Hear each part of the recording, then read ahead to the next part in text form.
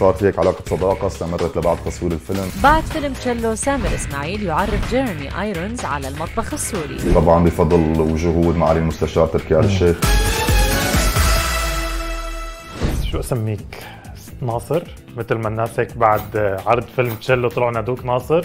ولا بتفضل اسمك الحقيقي؟ اسمي اسمي الحقيقي. سامر؟ طبعا طبعا. طبعا بنبسط لما العالم تناديني باسم الشخصية يعني معناتها إنه شخصية هيك شوي أثرت وعملت آه نجاح بس طبعا بالنهاية يعني باللقاءات وبالحياة إنه خلص أنا سامر فشخصية ناصر عم تحصد نجاح كبير من شهر تقريبا مع بدء عرض فيلم تشيللو في الصالات فبإجمالي عدد تذاكر وصل إلى أكثر من 53103 وهي ثاني أكبر افتتاحية فيلم رعب في تاريخ السينما السعودية. وبعده تشيللو لليوم عم بيتصدر شباك التذاكر بالكثير من الصالات كما هو أنه أول فيلم عربي بيتم عرضه في أكثر من ألف شاشة سينما في أمريكا وعلى السوشيال ميديا الموضوع ما بيختلف كمان.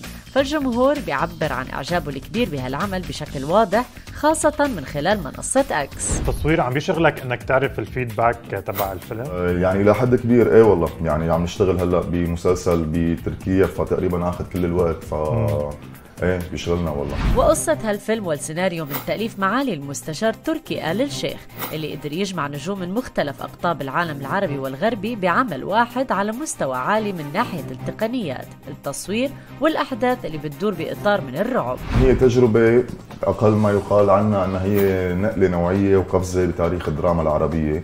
طبعا بفضل وجهود معالي المستشار تركي آل الشيخ اللي أتاح الفرصة لإلي ولجميعنا نحن الممثلين المشاركين بالفيلم من الممثلين السعوديين وسوريين و...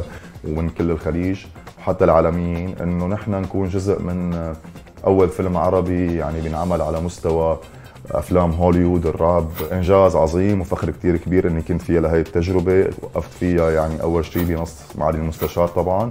وثانيا مع العمالقة اللي كانوا موجودين بالفيلم من كان الممثلين العالميين مثل توبين بيل وجيريمي آيرونز. ومن العالم العربي أستاذ غسان مسعود ولا مدام سعاد عبد الله. بدي أسألك عن لقائك بنجوم العالميين. آه، كيف كان اللقاء معهم؟ حقيقة يعني شيء عظيم جدا.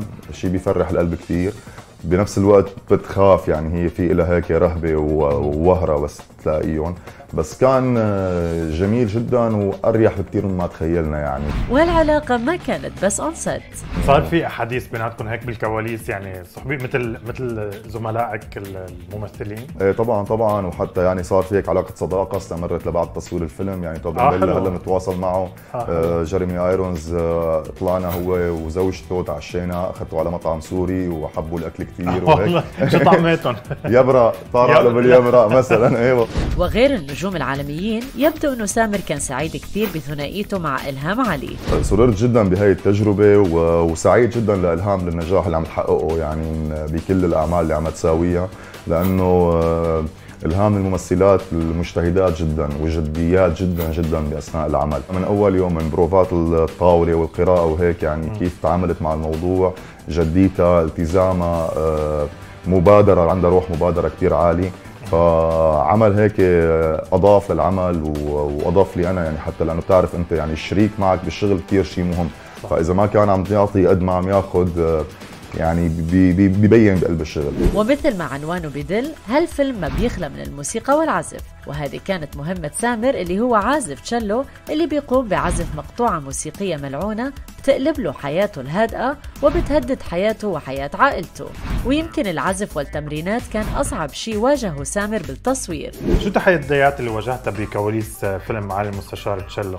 حقيقة البداية كانت مع التعامل مع آلة التشيلو مع العزف على التشيلو آه. كان آه، بالنسبة لي آه، يعني شيء صعب حقيقة إنك أنت بدك تعمل دور يعني عازف تشيلو بارع. يعني مو إنه أي عازف تشيلو. يعني هي القصة تتمحور حول إنه هذا العازف هذا الموسيقي على مستوى جدا عالي من التمكن من هي الآلة لحتى تيجي دعوة لحتى يروح يعزف بجامعة بإيطاليا.